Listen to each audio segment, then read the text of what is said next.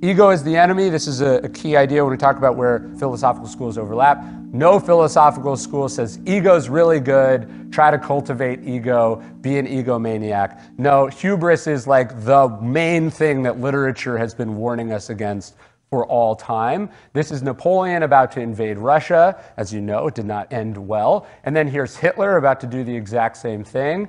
Here's the founder of WeWork about to destroy his company. Cyril Connolly said, Whom the gods wish to destroy, they first call promising. And so it's, you know, pride goeth before the fall. When you think you're as good as you can be, it's true, you stop getting better. When you think the rules don't apply to you, this is where you run into trouble. MacArthur, I could show you a photo of MacArthur about to cross the Yalu River. It is when we believe that we are suddenly invincible, that everything we do turns to gold, that we end up destroying ourselves. Ego destroys teams. This is Kyrie Irving and LeBron James. Kyrie Irving doesn't want LeBron James to come to Cleveland because he's going to have to share the ball.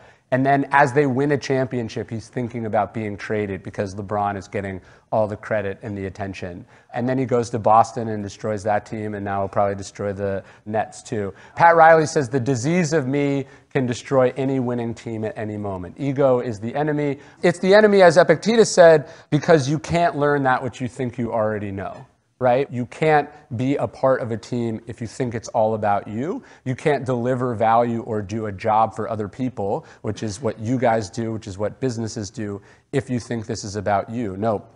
What we are in the business of is service, of being of use, and, and ego is the enemy of that. You always stay a student. Again, as I was saying, it's impossible to learn that which you think you already know.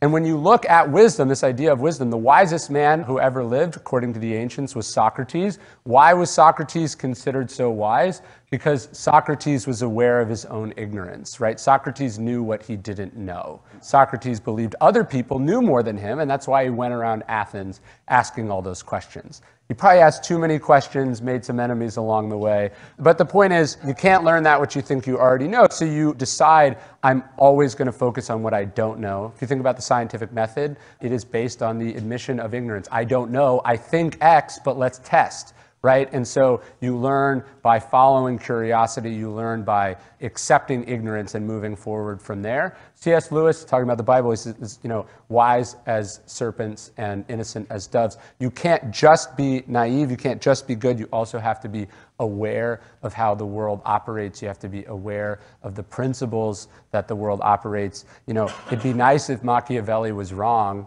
but he's not. So you got to know what the forces or ideas that are sort of animating the world. So I would ask everyone in this room, who are you learning from, right? Not just your teachers, but what sort of active path of studying and education are you currently on? What questions are you asking? Who are you asking those questions to? Specifically, I'd say, what books are you reading? I love this quote from General Mattis. He says, if you haven't read hundreds of books, you're functionally illiterate. And he says this in Call Sign Chaos, which is a wonderful book, but he's saying human beings have been fighting on this planet and writing about it for a minimum of 5,000 years, right? And he says it's unconscionable, even criminal, for leaders to be learning by trial and error what has already been learned by other people. He says, if you're learning by trial and error, you're filling up body bags when you could just be reading books, right? And so if you haven't read hundreds of books, you're functionally illiterate. There have been midshipmen who have written books about their experiences. Whatever job you want in the armed forces, people have written about that. Smart people have written about it. People who fucked it up have written about it, right? You can learn from all different types of people. You want to learn from cautionary tales. You want to learn from inspirations. You want to read how to books. You want to read history books. You want to drink deeply from this hard won store of knowledge. Tolstoy says, I cannot understand people who can live without communicating with the wisest people who ever lived on earth. This is what books provide us. But Twain, as always, says it better those who do not read have no advantage over those who cannot read. If you are not reading, you are essentially illiterate, right? It doesn't matter that you can, it matters are you doing it? I think books have been the best investment of my life. As I, was, as I was telling them at my table, my introduction to Stoicism came. I was at a conference like this, as uh, probably the exact same age as many of the midshipmen in this room. And I went up to the speaker afterwards and I asked for a book recommendation. And he recommended that I read Epictetus, Stockdale's favorite. And I asked, uh, positive step number one, got the recommendation, then read the recommendation, right? Uh, this is the process by which we improve and get better. I have this phrase, ego is the enemy, tattooed on my arm because ego is the enemy of wisdom. It's the enemy of learning. It's the enemy of being the best that you're capable of being. My book, Ego is the Enemy, is, is all about that very idea.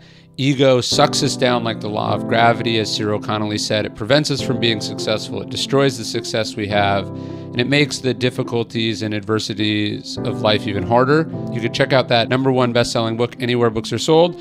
You can also get a challenge coin version at the Daily Stoic store. Go to store.dailystoic.com. The ego sucks us down like the law of gravity with you everywhere you go. And just remember, ego is preventing you from being who you can be. Hey, thanks for watching Daily Stoic. If you want to learn more about Stoicism, you can check out some of our other videos here. Subscribe, we'd really appreciate it. Keep learning, keep studying, and remember those four Stoic virtues courage, justice, temperance, and wisdom.